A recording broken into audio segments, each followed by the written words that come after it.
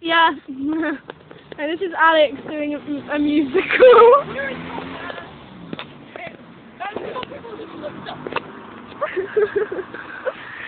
I love you. oh, I love you too. We're waiting and I'm bored. and I'm just using three notes in this musical. Give it a bit of range. Coming. yeah, because that's range. Keep going. I'm not stopping. Thinking. okay. Do you want me to pause it and then we'll come back when you're ready? Okay. Hi, we're back. This is Alex again. Go! This motorbike's red. And I don't want to be dead. But you're gonna if you stand on the wall like that. I know. There are some boys up there. Where? And we're waiting for some here. And he's not here. And I just fell. See, you're gonna die now. Oh well. Oh wow, you do not care about yourself? Yeah. Groove juice, put it on yourself. Groove juice, and it shine up nice and well. It. It only costs five pounds, and it likes to get around. Groove juice. Alex is looking quite sad, but only because she's missing her dad. He is a punk rocker with a Mohican. He plays the bass upon his face, and we're waiting for somebody who plays the bass too. But Alex is sad because she misses her dad and she loves him and she wants to do him and yeah, poor Alex just sat there crying. Why don't you turn that smile upside down? I mean, turn that frown upside down. I always do I? Just like, yeah. And, um, be nice and happy. Yay! no, you're not. Go!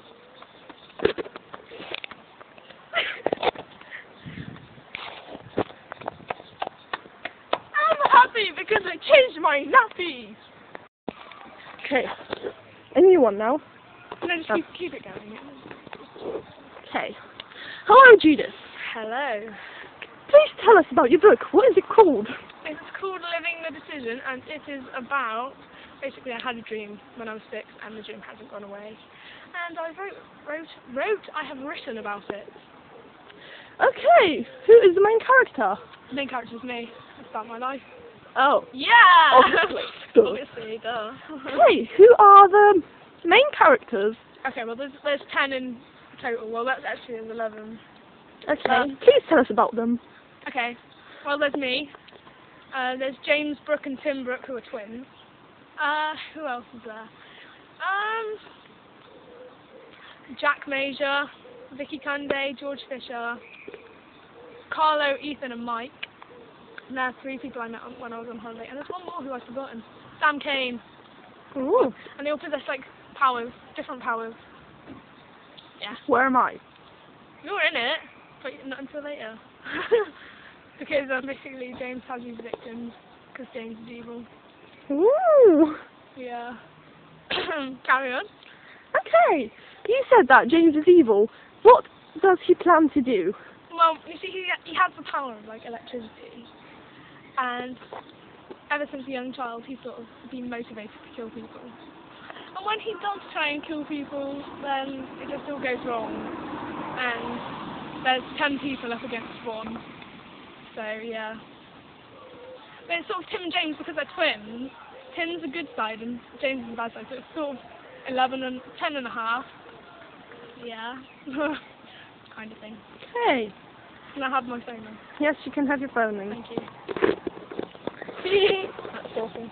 Did you pause it? Or is it still rolling? It's still rolling. Oh, it's still rolling. Okay, Alex, keep dance, dance. Dance, bitch, dance. I'm joking. That on the music channel last night. Go on, do it, do it, do the dance. I forgot it. Wait. Where's your phone? What? Where's your phone? My phone is there. Where's your whip? My whip is at school. It's in music. Yay! Anyways, I'm gonna go now. This is this is the end of our um, musical, and we're gonna watch it now. So later.